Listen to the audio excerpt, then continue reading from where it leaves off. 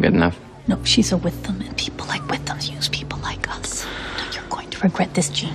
I'm shipping out overseas soon. The only thing I'm gonna regret is sitting here on my hands. Here, take an orange. There you go. Um, and one for you. And, uh, here, lettuce. No. Great. Okay, here's another orange. Now, I just need another volunteer. Eating the game, I see. Taste your Nora shoes.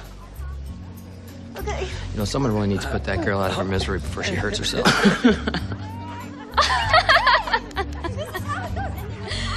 I hear the punch is delish. You want to give it a shot? Not sure punch is in the cards for us. Look, I only went out with you because Ivan asked me to, all right? Buster? What? At least I'm not stringing her along. Let's uh, get something to wash down these oranges. Come on. It's quite a gas, I'm telling you.